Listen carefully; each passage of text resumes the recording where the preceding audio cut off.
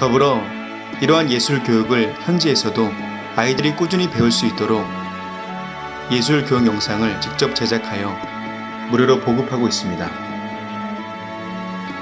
현재까지 중점적으로 만들어진 미술 교육 영상은 아랍어, 영어, 페르시아어로 더빙되어 요르단, 레바논, 터키, 이집트 등에서 활용되고 있습니다.